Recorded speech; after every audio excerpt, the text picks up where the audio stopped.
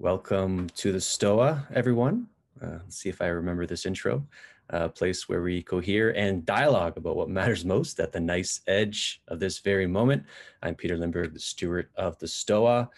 And whoo, the Stoa survived the maybe the end of the Stoa party. Uh, and we have lots and lots of cool and exciting uh, events lined up for um, the next two months. Um, and one of them is this one, the coaches in residence kind of relaunch series uh, kind of party. That was originally framed as, uh, but one of the the new coaches couldn't make it, and she's going to be Skylar Brown, going to be onboarded in May. Um, but we are going to introduce a new coach uh, in a moment. But um, yeah, maybe I'll describe what the coaches in residence series is at the STOA in case those who uh, are just uh, hearing about it for the first time. It was an experiment that we did back in, I think it was February. Um, it was uh, Tyson Wagner, our flow guide, uh, AJ Bond, who's here with us today, uh, our shame educator, and myself, uh, the Daemon Whisperer. Uh, it was a one month, uh, a little bit over one month experiment based in the gift economy, where the three of us were giving our gifts in the context of a coaching practice. Um, yeah, and it was great. we had a launch back in uh, I think it was uh, February, uh, and today uh, it's starting up again, kind of uh, officially. Uh, and how it's going to work today's session is that AJ and I are just going to chat about the experience that we had as being coaches in residence, and then we're going to introduce our new coach, Nathan Vanderpool. Um, yes, so is, is my audio okay? Video, am I chopping out or it's cool. Okay, cool.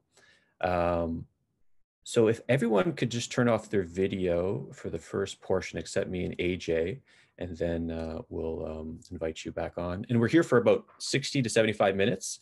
And after an AJ and I talk, we're going to introduce our new coach, and then we're going to have some fun exercises to uh, uh, the second half of today's session. Hello, Hawk. um, AJ, uh, how's it going, my friend? I am stressed and anxious, but excited to be here. I'm trying to let that go away because it's unrelated. Mm-hmm.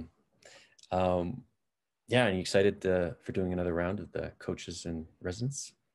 I am. I've been getting so much like satisfaction out of these sessions. I feel like I'm learning so like so much about what my message about shame really is from doing the sessions. And it's like, oh, actually, I kind of just have like one thing I really want to say, and that's what I focus on in each session.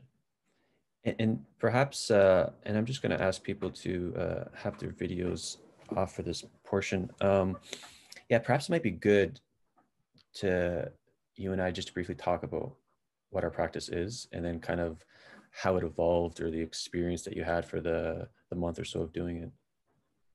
So what, what is a um, shame educator? Like aside from the sessions, just like in general, what am I as a shame educator? Yeah, yeah. It's um, something that I invented, kind of inspired by sex educators, based on me having a transformative life experience around shame that started in therapy, but then sort of spun off into this whole obsession that's been lasted for like six years now and I just have had so much more pleasantness in my life since I kind of demystified what shame is.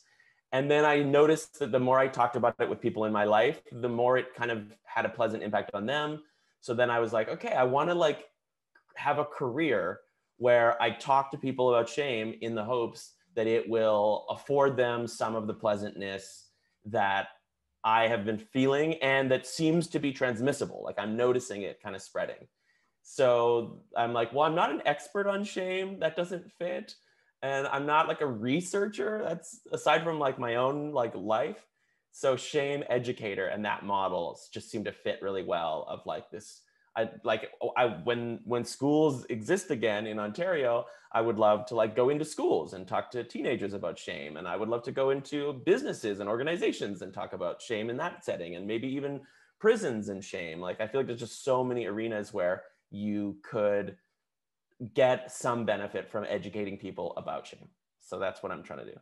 Yeah, and you've been educating people uh, almost a year at the STOA with the Shame Breakthrough boot Camp, um, and you got a book coming out in August, I believe, uh, uh, on shame, and and I'm, I'm curious, like how the practice how did you find it doing uh, a month or so of uh, talking to people stoa in the stoa ecology in as a shame educator? I mean it's it was actually less intimidating than doing shame breakthrough bootcamp where i have like you know 15 people who i'm trying to communicate with and kind of like like one of the big things that i'm noticing and i think um, Nathan will resonate with this a lot. Like my nervous system is a big part of what makes the sessions work. And when there's 15 people in a session, it's harder for my nervous system to kind of hold everyone. But when it's like me and another person, it's so important that I can get impacted by what they're going through and feel the discomfort and things come up in me and be like, that's okay. We can we can be with this. And by like doing that, it has an impact on the the client as well where they're like yeah yeah we we can be with like we can do this and so it's like been a lot of kind of like getting comfortable with other people's discomfort in a really intimate way and finding that that's actually like quite manageable with one person and sometimes challenging still depending on what they bring up but like i feel like i've gone to the discomfort gym for the last couple of months and really like grown some discomfort muscles, which is sort of my whole goal. Mm-hmm. Does that answer your question? Yeah, I'm curious if uh, um, uh, I imagine the practice is being refined by kind of engaging with all these people.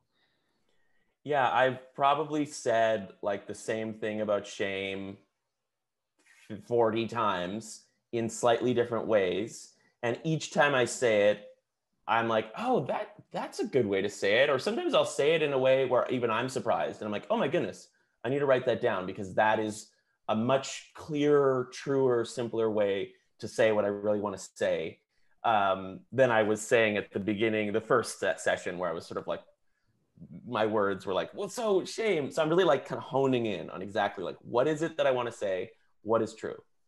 Mm-hmm and I've been hearing good feedback because uh, it's kind of cool. This ecology of coaches, uh, Yumi and Tyson, uh, we have same similar people going uh, to each of us, and I'm actually recommending people to you. Like, okay, this is a good shame issue, or maybe I recommend Tyson because it's uh, um, uh, a person wants to work on become more verbally fluent or whatever.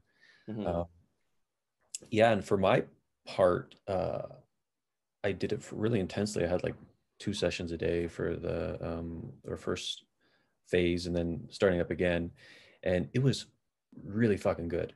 Uh, just kind of plugging in to someone's worldview. And so like I call myself the Daemon Whisperer. That's just some jazzy thing. Uh, uh, I just made up the term, but uh, it's a philosophical inquiry uh, where we come and have a dialogue with someone about an issue, could be a pain point, but really something that's alive that they want to work through. And then we engage in that kind of emergent conversation. And it's been quite rewarding uh, for me. Mm and it, it does feel like just sinking into someone's reality tunnel and like kind of how you said you know explaining it's, i'm not explaining the same thing but it's just kind of like being sensitive to where the person is at and how you know to communicate in such a way where it lands yeah i imagine it must be quite vulnerable or perhaps more vulnerable for you in the sense that I, I when i'm feeling nervous before a session or even during a session i'm like aj you know your shit. Like you have something that you know is valuable and true to say about shame, and maybe it won't connect with them. But for you, it's like the uh, I, and I, you are kind of the master of comfort in the unknown. But it must, you know, like you don't know what they're going to come at you with. Isn't that true? Yeah, yeah. I'm not nervous about that though, but like I, I love it. Uh, it's sort of like uh, kind of going on a, a, roller coaster ride with you know reality in a way. Um, but there is that sort of the pressure of because I love having transformative talks. And so. I, I, mm. always want kind of like a home run. You know what I mean? Like I just yeah. I want to hit that. Even with my friends, you know, I go to like I just I just, oh, I just want to fucking um and then there's that and sometimes it does happen or it feels like something really happened. A lot of times that happens and sometimes, you know, it doesn't happen, but it seems like benefit or value was added in the conversation. Uh, and just kind of catching myself with that kind of that desire to hit a home run, just pause it. Like that's not what this is about. You know, you can't engineer that. Uh, that if you try, then you're not in service of what wants to emerge and what's most alive right now. Mm-hmm, mm-hmm. Yeah, and and but those moments where you perceive that you have hit that home run or that there has been some something transformative or connective or insightful is uh, kind of an, a really powerful addictive feeling. So I can see why like we want to have that every session. Yeah, yeah, yeah, totally. Um, so yeah, let's uh, introduce the new coach right now. Uh, and you know, this new coach is a coach in residence thanks to you, uh, AJ, because you did. So let me just introduce uh, uh, the coach first, uh, formally, Nathan Vanderpool. Uh, he's I originally discovered Nathan in um, he was working with Joe Edelman in Human Systems, Uh, and, and, Nathan has a background in psychology and kind of cultural studies. He has a PhD in sociology. Uh, he's a singer songwriter, which we'll, we'll, touch on in a moment. And he's the author of the Social Arts Handbook. Um, and so I knew Nathan from Human Systems. That's when I originally met him uh, a couple years ago when I took their course and then AJ tweeted out something like, I was just reborn. How was your day? I'm like, what? AJ reborn? This is this is an event right here. And so then I looked into it and he told me I think it was Nathan Vanderpool that did this for you. And I was surprised because I'm like, Nathan does this type of stuff. And the stuff that he was doing was called trauma mapping. Um, so perhaps I'll pause there, and maybe it'd be good that you can kind of just talk about how you got onboarded to Nathan, and maybe you can talk about your experience, and then I can talk about my experience with him because both AJ and I uh, went to him and had a had a session with him, the session that he's going to be offering uh, here at the Stoa. Yeah, I just really randomly saw an interesting workshop title on another platform that I'm a part of, and was like, "Oh, um, that sounds neat. I'll check it out."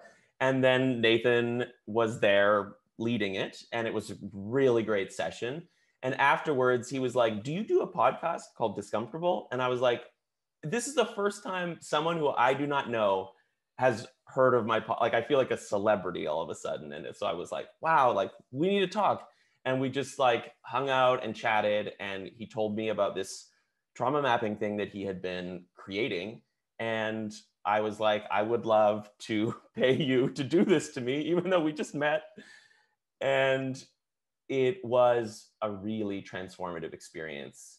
Um, I I wasn't even sure like it had been so long since I had practiced bioemotive, which is like sobbing in front of another human. So I was like, I don't know if this is even gonna work, Nathan. Like I'm really kind of nervous. Like maybe we'll just end up chatting the whole time.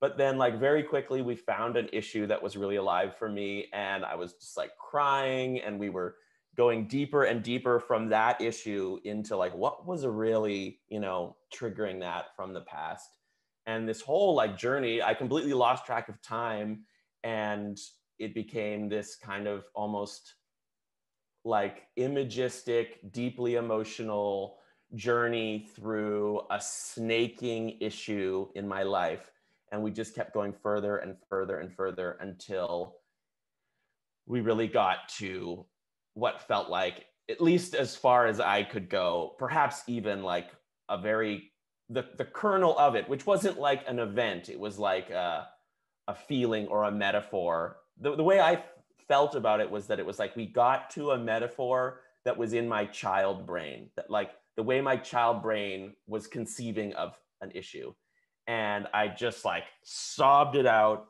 and and with Nathan's guidance transformed it and then he wrote a song about it. I feel like that's a spoiler alert. I'm like, should, should we even say that? I know that's, that's what I'm wondering, but I, I, yeah. Um. So it's just a very, very powerful, very skillfully guided, very, very, very transformative experience in which I perceived myself in a kind of um, lucid dream state, literally like crawling out of a grave and being reborn as a like adult man child kind of like this this like heroic self-liberating moment mm. that I now like carry with me and I sing the song um, all the time when I need to kind of be reconnected with that sense of liberation that my brain has now found around this difficult issue. Right, right. And uh, like I don't like you said, I, I don't really do much. Um, I don't experiment with these things. I don't like go out like for people. But like if AJ says something, AJ's like a kind of a junkie in this stuff. If he says something that like you know got him to reborn, I'm going to try it out. Um, and so I don't usually do it, but I tried out Nathan just as as a kind of a whim, and then kind of like your experience, I didn't know what to expect.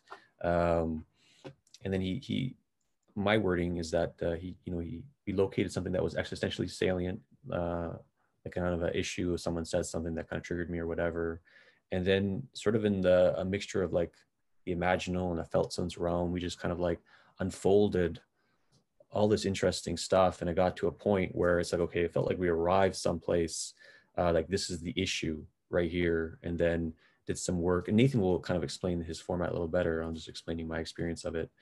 And then we did some work and then it's just like a beautiful moment happened and then it's like some affirmations started arising or i started saying things and i saw nathan writing it down and i didn't talk about your experience before i had mine so i had no idea what was going to happen. So after he started writing these things down the guy takes out a fucking guitar and he starts playing music and he starts saying my affirmations. And then when he was doing it it was like this like kind of like my body was like a just energy was flowing through it.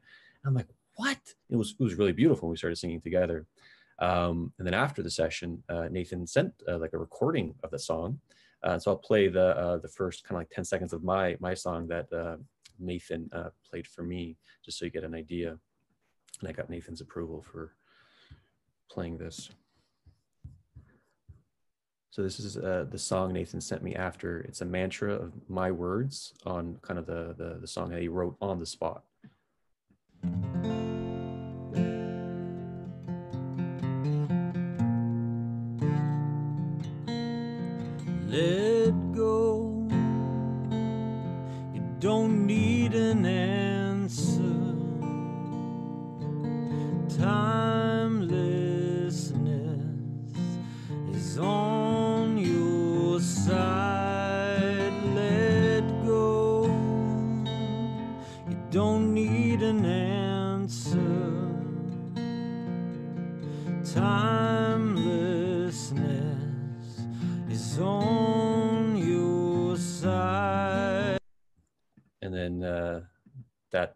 Three kind of sentences just repeat over and over again for about like I don't know was it seven minutes, and Nathan recommended uh, myself and Camila actually to just kind of like play it at night, listen to it, and then sing it out loud.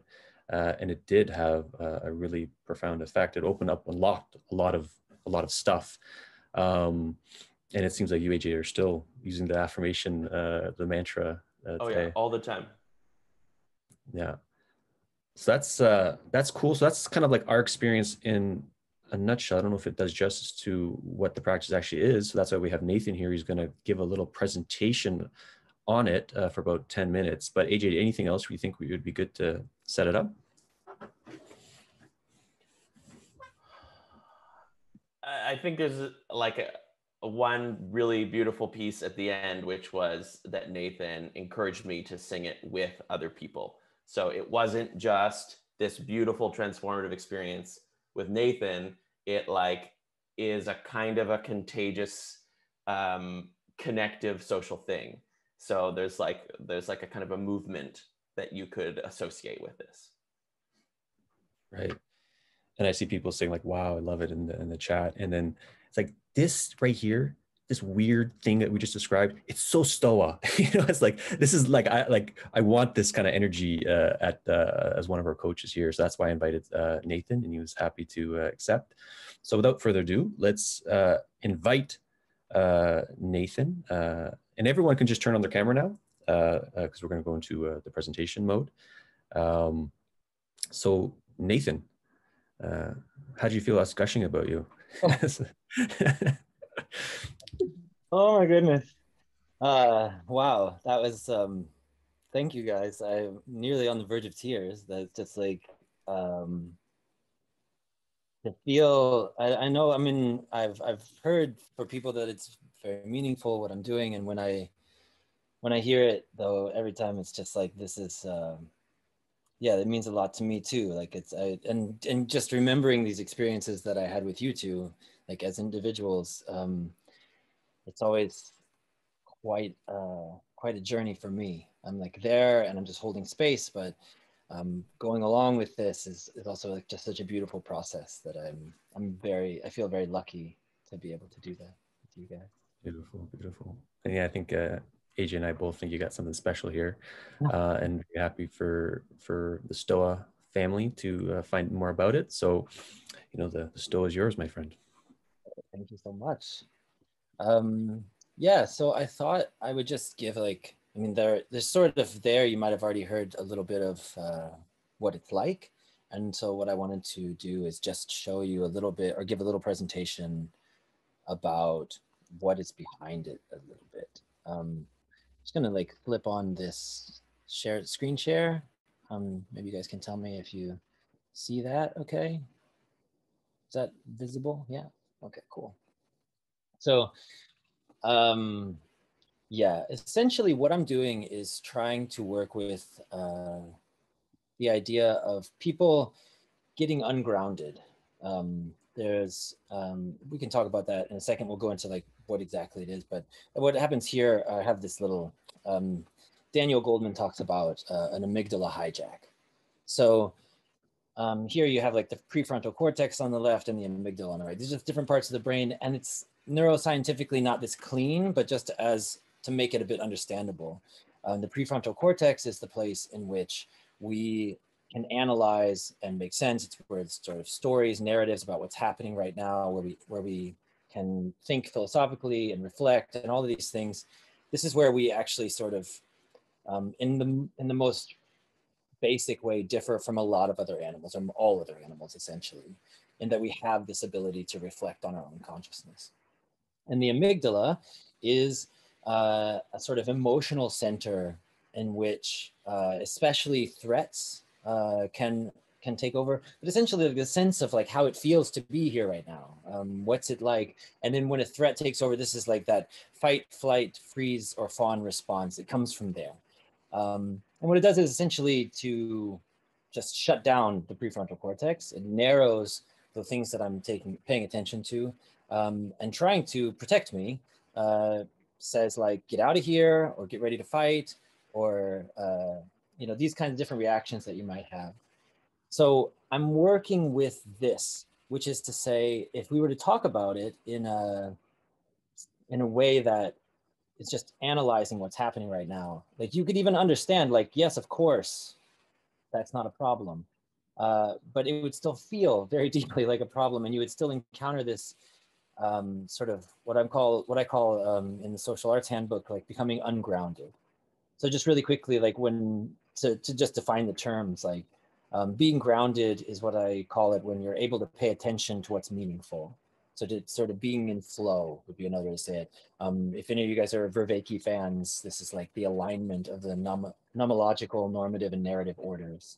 Or for people who haven't seen Awakening from the Meaning Crisis, uh, it's being in touch with what's really going on right now, uh, what matters to me, and how I want to participate in what's happening. If I can track all of that and sort of have choice around that, then I'm grounded. Um, and sometimes the amygdala hijacks my ability to do that, and I perceive something that's like a false danger. So sometimes, if it's a real danger, I wouldn't call it being ungrounded. If there's an actual lion in front of you and you're freaked out, that's that's not ungrounded. Uh, but if I uh, so if I perceive a false danger and enter into a threat response, then my attention is going to narrow. So I'm not in flow. Um, I lose track of what's really going on, what matters to me, how I want to participate, and what's happening. Um, these things sort of become unavailable to me. Um, yeah. So essentially, what we're trying to do is like just as one other thing, I guess, um, as being ungrounded you often might not recognize it in the moment. Um, so you can train yourself through like meditation and reflection to see, oh, I'm ungrounded right now. And that's actually a very important skill to develop. But um, just if you were trying to define grounded in a little bit more of how is it usually experienced, often people will look back and be like, why did I act that way? Why did I say that thing? Why did I feel like it was so existential and so like I might die? Uh, when in the sort of cold light of day afterwards, when you're not in the situation, you you would have wished that you would have uh, paid attention to something else that really mattered to you and participated in that that interaction in a different way. Um, so we'll just like take a little example, like uh, let's say that your boss at work is giving you some kind of uh, pitch on what you guys are going to do next as a team, and you think like this is really stupid. Uh, but what happens is instead of speaking up and saying that, uh, you get like this icy feeling in your face and maybe in your arms, and you get like a tension here in your throat, and you feel a bit nauseous, and you don't say anything. Uh, and then maybe like later you're at home and you're eating dinner and you're just getting angry with yourself, like, why didn't I speak up? This is like really good, such a waste of time. Um, this is the kind of situation in which somebody's ungrounded. Um, and through the research that I've done, I found essentially that's some kind of threat that's been stored in your amygdala, um, projecting itself into the situation, trying in a way to be very helpful and protect you. Uh, but ultimately, a lot of times, sort of misfiring and creating these this inability to stay with what is what matters to me and how I want to participate. Um, so when that happens, um, we I call this like the sense of activation and safety. What I do in the trauma mapping is we start with really going into the body. Like where is this and how does it feel and what's the state like? I want to make sure that you could recognize it like you would recognize a person when they're walking down the street. Like that if this happens again, this body state, you'll know that's where it is and that's where we start. Um, so I use some research by uh, Ekman and Tatarian. I think that's how you say his name. I've never met Doug. Uh, and and I'm really just like working with these things in a, in a sense behind the scenes. Like I'm giving you a bit of a peek behind the curtain here. When you would actually do trauma mapping, and you wouldn't wouldn't talk about this. I would just kind of like guide you and be like working through these different stages as they're appropriate to what's going on in our conversation. Um, so we try to like sort of outline, really get you embodied, really imagine you're in this situation. Um, and then we start to i start to like identify what are the emotions what's what's the threat where's this coming from? And then bring it back to uh, well tatarian actually calls this uh, interpersonal feelings but i call it a sense of us.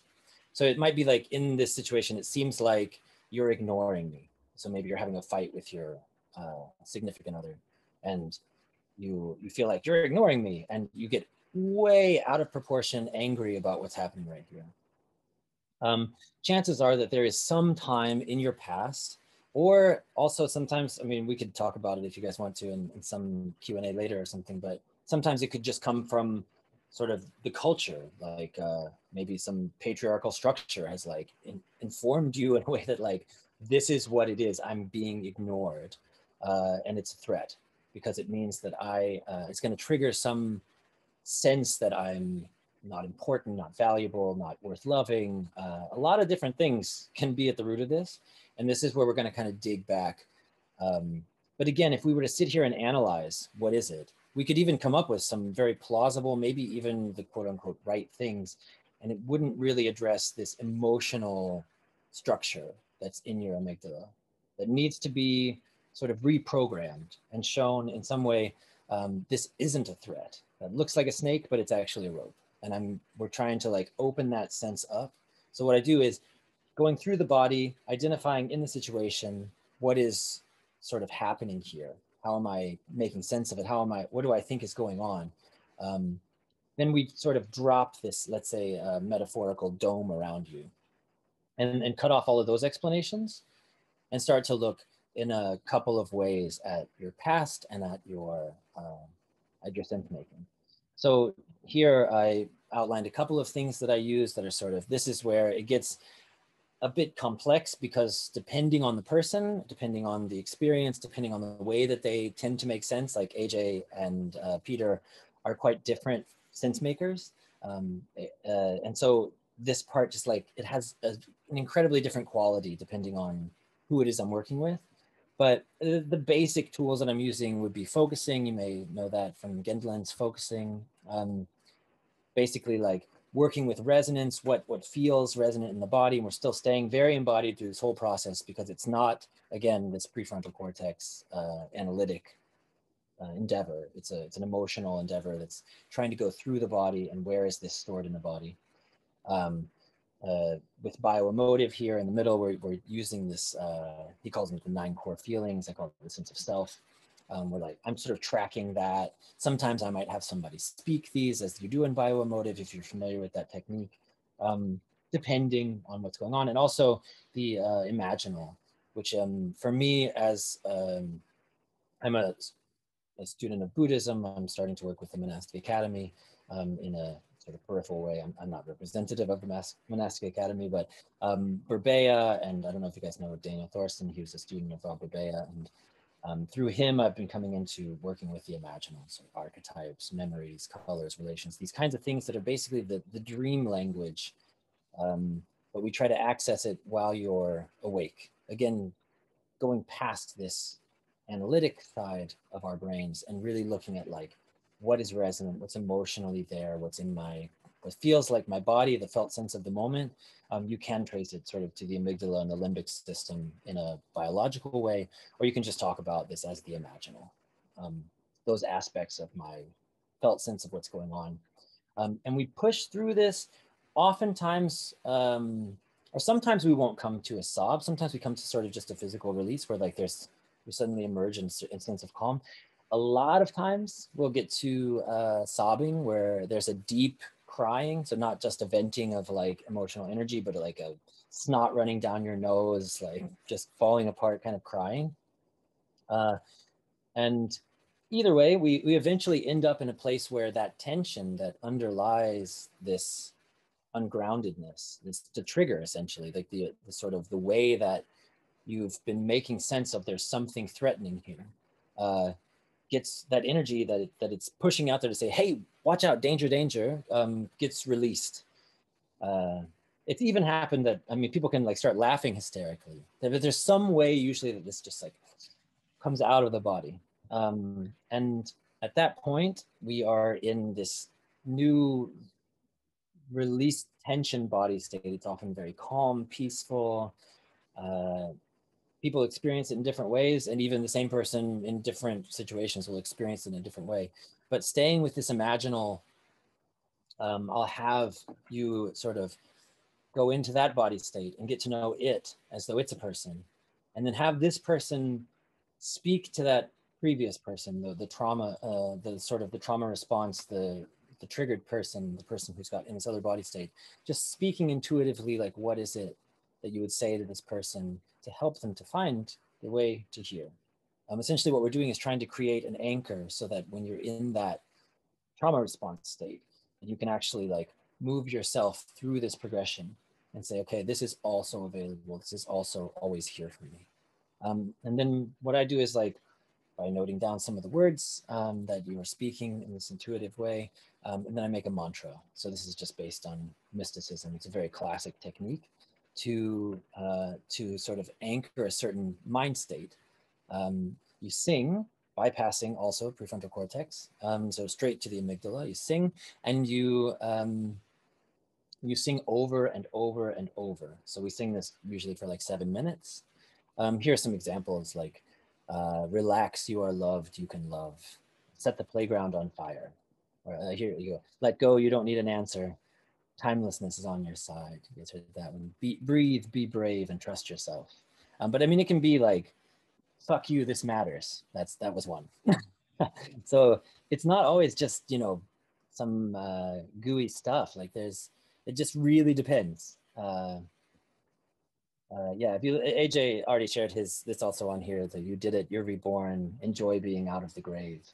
Um, yeah i am the face of god. I am beautiful. I mean sometimes these are just like whew, i, I get even because they all remind me also of these experiences that i've had with people going through this and then coming out and like seeing this beautiful truth that it's not an analytic truth. You can see like looking at this these are not some sort of like you know formulaic thing that's that points to something. It's just like this resonates very deeply with that experience and then I have you sing that with me. You sing it, I'd make a recording and send it to you and have you sing it every day for seven days. And also, um, as both AJ and Peter described, it's very important uh, or just a very extra power boost to sing it with other people, look them in the eyes and sing this. And it establishes it as a sort of like interpersonal truth so that this fear, this threat um, can let go, can relax, and we can just like anchor ourselves in this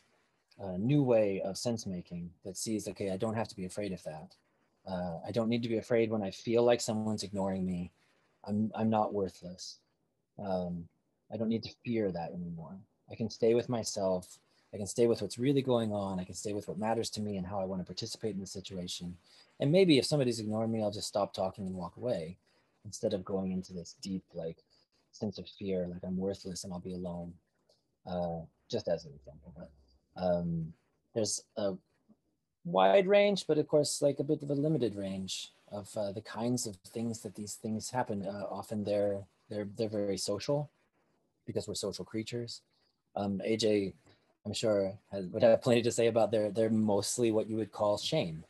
Um, and so this is a way of working with that that goes deeply into the way that it, it sits in our bodies and we are we've learned to respond to situations um, and trying to heal that. So we come through this experience together and we finish with a healing piece of art.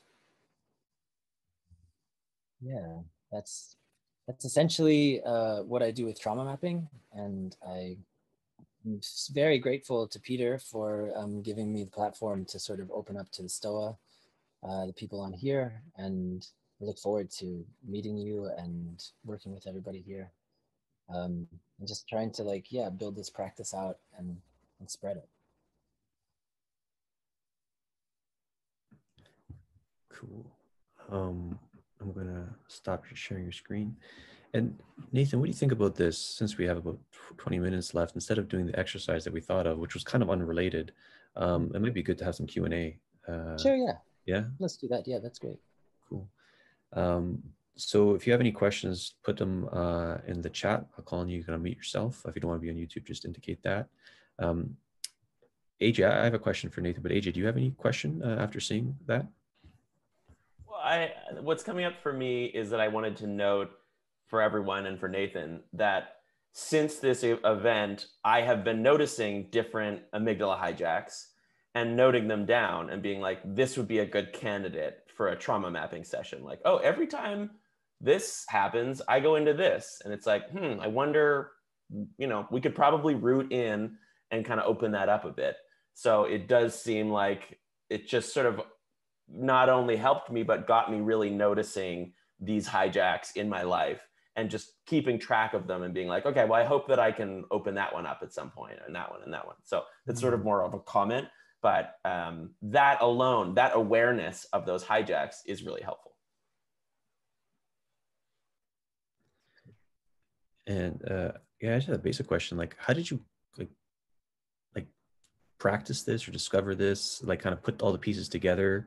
Um, like, cause that music piece, especially, like, like, ooh, that's that's original and, and different. Um, so I'm curious how you just kind of like pieced all this practice together. Yeah, it's it's the result of a long, circuitous path. Um, originally, as you said, I was working with Joe Edelman um, doing human systems so if, if anybody on the show has ever done Social Design Club, um, I was sort of working with this um, playing social game or seeing social, socializing as a social game, looking at how could we lower the difficulty of social games so people could stay grounded. Um, and then about three years ago, my attention really like shifted, my, my curiosity really shifted toward uh, how could we raise the ability of play the players? So like, why is it that I have trouble playing social games and how could I get better at that? Um, and in my research, I just started to like, I'm just sort of a pan curious autodidact and went, went kind of crazy as I do, nerded out on it for a long time. Um, but the essential thing that connects it to the human systems work is that it's about attention. And so, as I said, like I've been working a lot uh, with attention and I, I basically uh, started to do a deep dive on trauma healing. There are a lot of amazing methods that are already out there. Um, uh, the, the ones that I found, for example, most relevant to the kinds of things that were working for me were focusing and bioemotive framework um, and this imaginal um, meditation through like Buddhist meditation. Uh, and so I was kind of just like working with this, putting it together, practicing by playing um, with myself initially, then with like close friends, working on these kinds of uh, processes and seeing what what really helped, um, what what got people into that experience and what what happened afterwards, and um, eventually, I I had the experience of like, okay, we have this really transformational moment, and then it just seems to drift away over time. And somebody has like a real deep insight and and they can't quite hold on to it. And that um, in speaking with uh, some friends of mine, um, including my friend uh, Ronya Polzin, uh, it was this clear like, okay, why don't you do the same thing that spiritual traditions have done for thousands of years? You're a songwriter, just like you can write a song off top of your head, like just do that, and then we'll sing it as a mantra. And this will be a way to remind ourselves, like to bring it through ourselves and, and train it in our bodies. Um, and so I just uh, tried it. And when we tried it, that was like when it clicked into place. And I thought, okay, now, now we actually have a practice because uh, to sing this and to create an anchor. I think potentially there are other ways, like other anchors, but to create the anchor. Um, so somebody might be an, a visual artist and draw it, and you could carry this little uh, image around with you to look at, or maybe there are other ways. This was just my artistic practice put here. But yeah, when we found the anchor idea of how can we like keep this transformational experience, transformative experience through time, um, that's when I felt like it finally kind of clicked into place. Very cool. Um, yeah, someone saying a sigil. Uh, the so if you have any questions, put them in the chat. I will read one that someone asked me to read on their behalf, and it's the first tough question, obviously. Always the first one's a tough one. So either by the name of the technique, then from the description of the process, seems like the technique actively tries to work with trauma. Trauma is very delicate matter and requires very rooted capacity and skills to be touched, the ones of a licensed therapist. This seems to be dismissed and referring it to as coaching. Are you, Nathan, a therapist? Uh, no, no, I'm not. Um, I mean, I have a degree in psychology. I have a lot of experience working with people in deeply emotional issues and I'm not a therapist and I don't claim to be a therapist. Uh, essentially, what I do is hold space for the other person. Like I offer, I never offer any kind of advice. I also never push uh, when we're in a situation which we're exploring these kinds of things. I never try to get someone to like to to go further than they feel capable of moving with me in that situation. Um, so it's a it's a point that I um, do sort of prominently announce, and uh, and now before I would actually have a session, would have someone sign a disclaimer because I'm not a therapist. Um, so far, I've had no negative experiences with somebody doing this, um, but I admit that it's it's an issue that I try to pay particular attention to to stay very much in touch with what's happening, to stay to to check in with people after it's happened after we've done a session like this. Um, but essentially i'm just like a very i mean the way to look at that would be like i'm a sort of like highly emotional capable friend who wants to talk to you about or you're talking to about some things. That's about like the way that the sessions feel.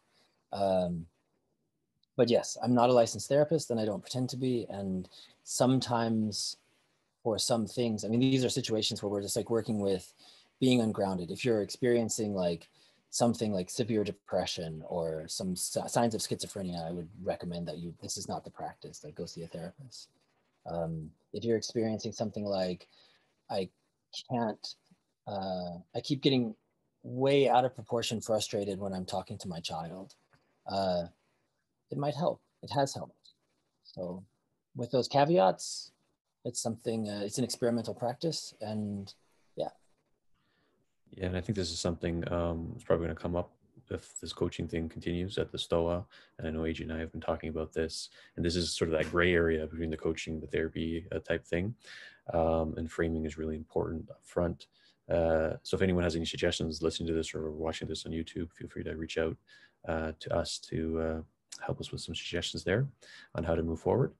And um, let's take in, uh, so I'm going to take an elf in a moment, but uh, Laura, who just had to leave, asked, uh, I'm curious how you define trauma. Uh, if you she missed, missed your definitions. Yeah, so if you want to just maybe um, define trauma, redefine it. Sure. Yeah. So this is another point. Um, I say trauma could also be a different word. Um, essentially, what I'm pointing to there are ways of making sense that get stuck in us as threats. You could also maybe just call it like threat mapping. um, but it's like uh, trying to understand where these invisible, the threats that have become invisible, so they're part of our sense making, but we no longer see them. And this is why I call it trauma because it's not it's not an actual threat that I'm perceiving in the situation, which I might be able to deal with, even with like an analyzing, um, okay, what is the appropriate response here? It's something that's part of my sense making and brings me out of the situation. Um, so in this, this is what I would be referring to when I talk about trauma. I'm not super committed to the word in a way, but that's what I mean when I say it. Uh, I mean, something that happened, usually it's uh, not well, it's uh, it's always not in your conscious mind. Um, it's often something that happened to you when you were much younger. Could have been in relation to your parents or some other person. Uh, could have been in relation to just the culture and some kind of or or your social group. Something that you absorbed that in some way I am helpless. I'm hopeless. I'm worthless. Uh, these kinds of like shame responses that get sort of ingrained in your nervous system. And this is what I'm referring to. So whatever, if you have a different word that you'd like to call that, I'm not committed to the word, but that's what I mean. cool. Uh, Elf, uh, you're up next. Oh, yeah, I have to give you permission to unmute yourself. So, uh, Elf, you're up next. Sweet. Thanks for coming, Nathan. This is my first Stoa session a few months after being in the monastic academy, so it's kind of beautifully weird. Um,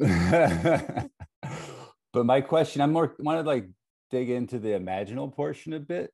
It seems like with the bioemotive stuff, you're kind of processing the trauma.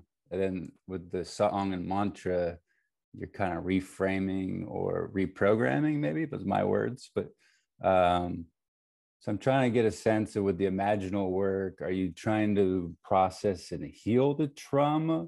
Or are you using it almost in positive imagery to like reframe it?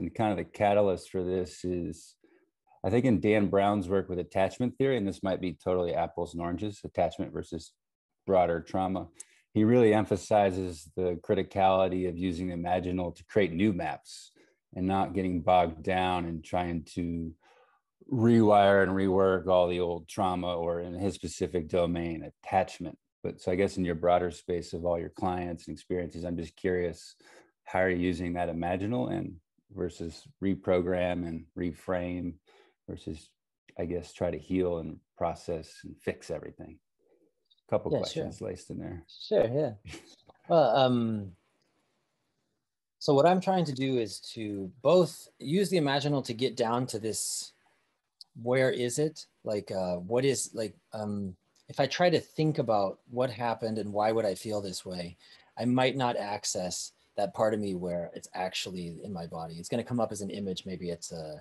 you know, maybe there's a, a, a, a devil snake that's coming at me. Uh, maybe you know, what it could be kind of anything. Um, but these images that come up can help me to access that part of my body where the where this is stored, this threat is stored because it's in that it's in that language that it will be most visible. And then I I also use that language once we get to the the uh, the sort of release when it's come out. Um, then I also like to use these this more imagistic sensorial way of approaching like what is that like? So not to say like oh now you see what you thought before wasn't true but to say like oh now let's let's hold on to these images of peace of release of tranquility from which you could act grounded. If you were to be able to be in that body state you wouldn't freak out when you're uh, you know at the grocery store and the, the line is so long and you're you're afraid of being five minutes late to your meeting. Uh, something else is going on but if you could hold on to that body state you could actually in that moment you'd make decisions that would feel like expressions of yourself so i try to use the imaginal in both going down into where this tension and threat is stored in the body and also in holding on to that sense of release. Um, yeah, to just bypass this analytical, which isn't very useful for that, um, and then use it in this way. Hmm. Does that make sense? I I does, I yeah. addressed all your questions. It sounds very uh, improvisational, but in a good way. Like, and but that's what the vibe I'm getting. It kind of reminds me a little bit that's of family systems where sometimes images come when you can't really get to certain emotions and other things. Yeah, certainly. Um, I've done a lot of work with internal family systems, and um, the things that I listed there were sort of the main paradigms that I'm drawing on. But um, given a situation, it is still it's an experimental practice, uh, and um, I'll sort of bring in whatever seems useful. Um, and it depends on the situation. Also depends a lot on the person and how they're how they feel into this situation. What seems to resonate with them the most. Um,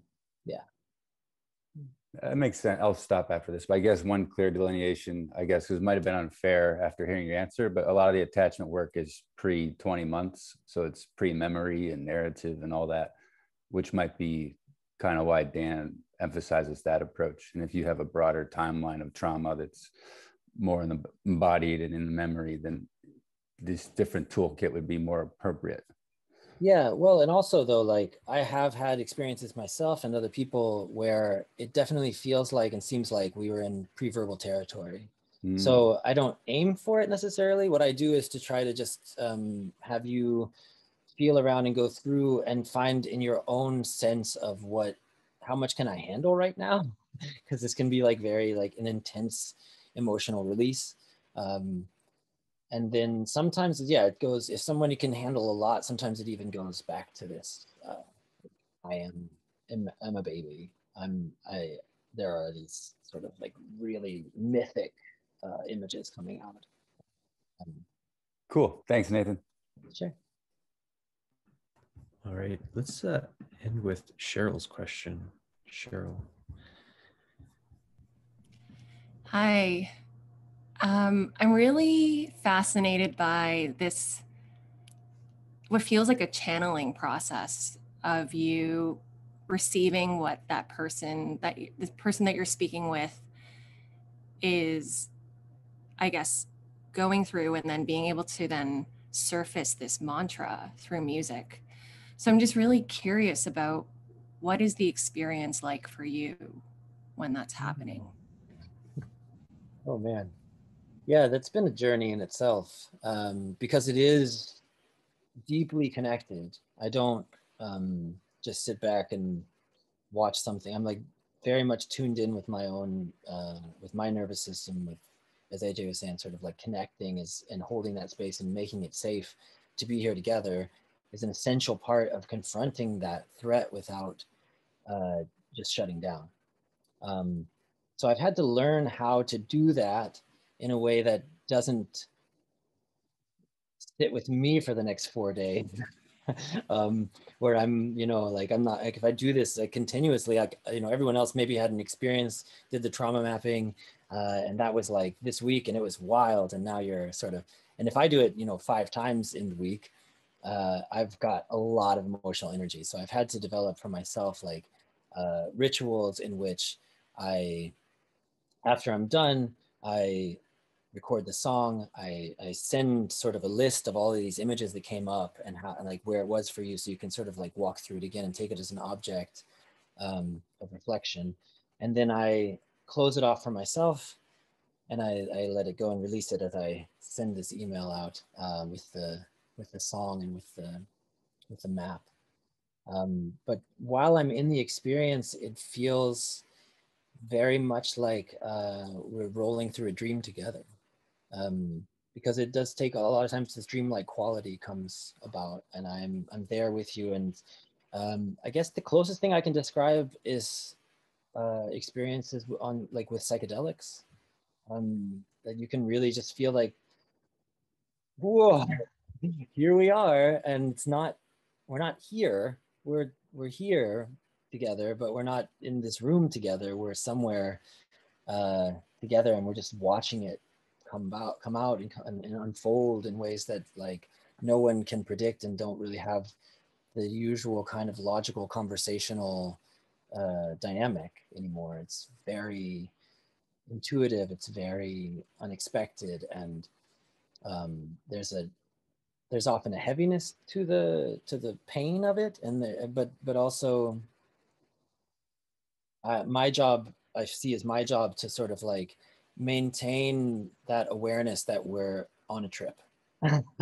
And and and and to keep that feeling of safety in myself like okay i know we're okay. And and where we're going it, we're, i'm just walking with you through this forest and it may seem very scary but it's just dark. Um, and as we emerge into the light which i know will come at some point um, i've i've been down this road enough times and i can sort of like guide someone along um, and they can just like flow and let it come. So the experience for me is like intense uh, and rewarding and i'm learning to sort of go through it and release it um, uh, and i'm getting I'm, I'm now actually like uh, we, i had a conversation with some friends about that before when when peter asked me if i would like to do this on the stoa um, that am i far enough along in that practice to actually like handle doing this a lot? Um, and I think and and we decided like yeah it seems like it's a it's possible now. But yeah um it's it's definitely while we're there as intense for me emotionally um maybe maybe not let's not say that. It's not as intense for me emotionally as it often is for the other people but probably about 60 70 percent as intense like where I, I do get quite emotionally activated in the process any uh, quick follow-up cheryl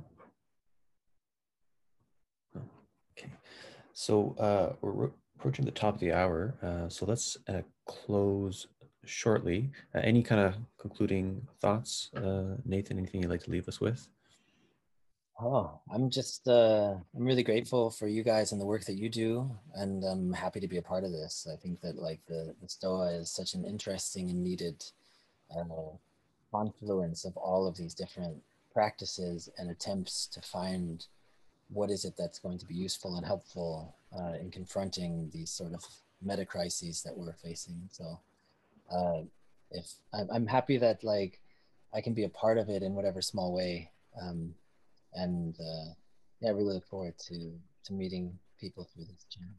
Awesome, awesome. And uh, in a moment, I'll explain how to um, book Nathan in directly. Uh, I just want to take in uh, AJ. AJ, if you have any kind of thoughts that came alive that you'd like to leave us with? I'm just excited to do another session.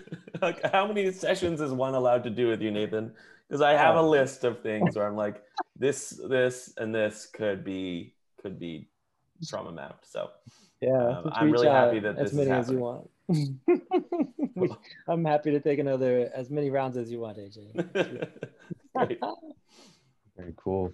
Um, so yeah, uh, the idea with the coaches in residence, again, it's an experiment. We're doing it for um, another two months at least. Uh, and I, I, like, you know, we're going to have uh, an embodiment advisor too. Uh, uh, Skylar Brown, who I had a session with, it was equally as profound as, as, as session I had with Nathan. And so she's going to be onboarded in, in May. But, you know, the idea is like we have all an expert in something, like, you know, some someone needs something with shame, go to AJ or kind of like flowing uh, verbally, go to Tyson or trauma mapping, go to Nathan or embodiment, go to Skylar. And so it's kind of like an ecology of coaches that are working together. Um, and for people who are watching on the um, YouTube channel, Nathan will be added uh, to this uh, page, uh, the stoa.ca slash coaches in the event description. Um, he'll be added to that page later today.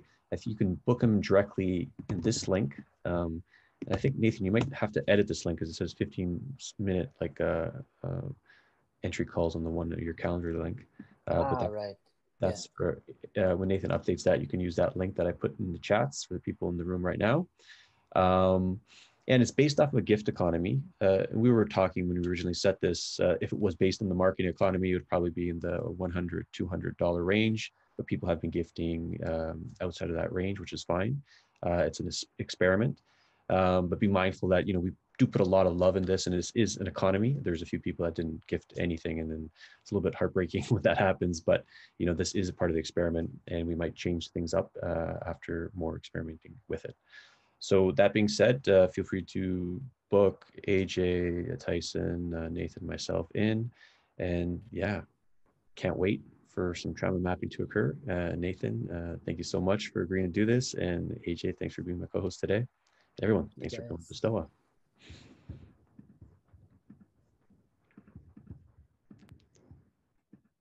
can listen to uh, my trauma mapping on the way out. Thank you. Thank you. You don't need